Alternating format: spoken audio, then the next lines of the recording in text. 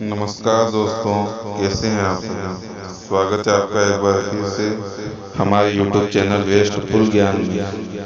आज हम बात करने वाले हैं चिनाब नदी के बारे में। तो दोस्तों, वीडियो शुरू करें, इससे पहले चैनल को सब्सक्राइब अवश्य करें। साथ ही साथ, अगर यह वीडियो आपको अच्छी लगे तो इसे ज़्यादा से ज़्यादा लाइक एंड ज़्यादा से ज़्यादा शेयर एंड ज़्यादा से ज़्यादा कमेंट अवश्य करें। इस वीडियो में हम जानेंगे चेनाब नदी का उद्गम स्थल, लंबाई, सहायक नदियाँ।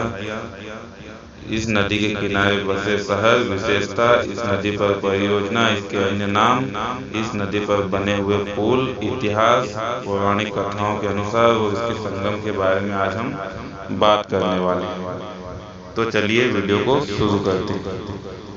चिनाब नदी भारत और पाकिस्तान में बहने वाली एक प्रमुख नदी है और जल घनत्व के हिसाब से यह नदी हिमाचल प्रदेश की सबसे बड़ी नदी है। चिनाब नदी के बारे में अगर बात की जाए तो यह नदी जम्मू कश्मीर से बहती हुई पंजाब राज्य में प्रवेश करती है और यह एक महत्वपूर्ण नदी है।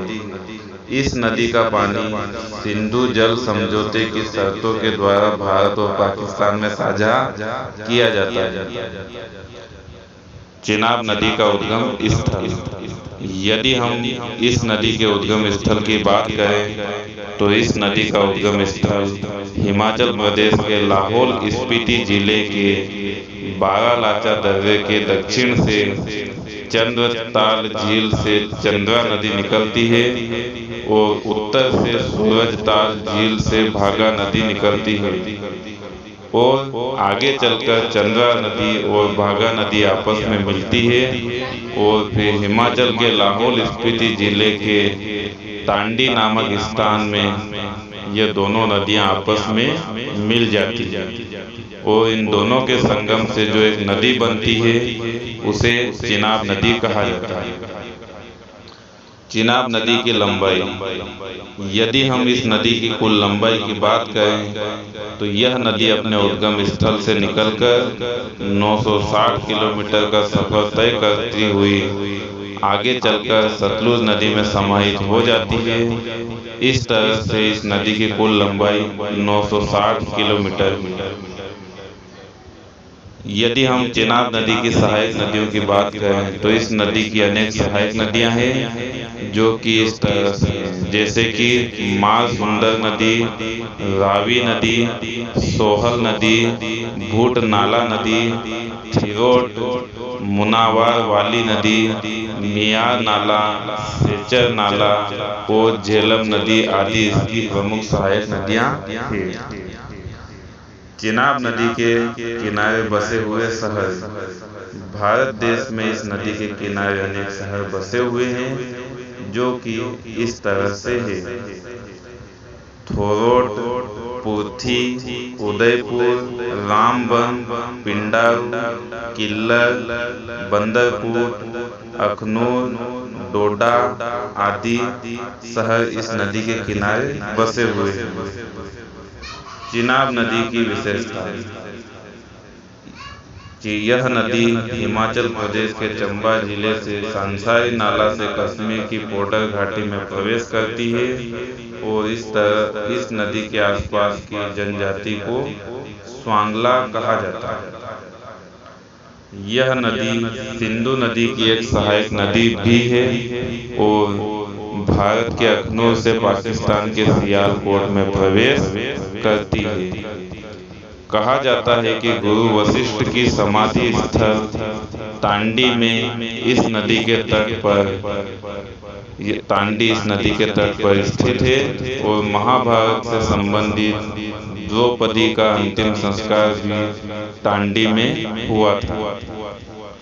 यह नदी हिमाचल प्रदेश के लाहौल स्पीति और चंबा ज़िले से बहती है और जल घनत्व के हिसाब से यह नदी हिमाचल प्रदेश की सबसे बड़ी नदी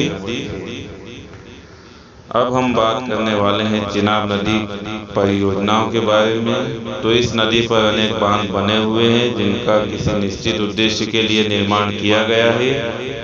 जैसे कि हिमाचल प्रदेश में परियोजना तो हिमाचल प्रदेश में इस नदी पर अनेक परियोजनाएँ हैं। नंबर एक, छतरू परियोजना। नंबर दो, थिरोट परियोजना। नंबर तीन, सेली परियोजना। नंबर चार रावली परियोजना। अब अगर जम्मू कश्मीर परियोजना की बात की जाए तो नंबर एक, बगलिहार बाँध, दूल हस्ती परियोजना, सलाल परियोजना।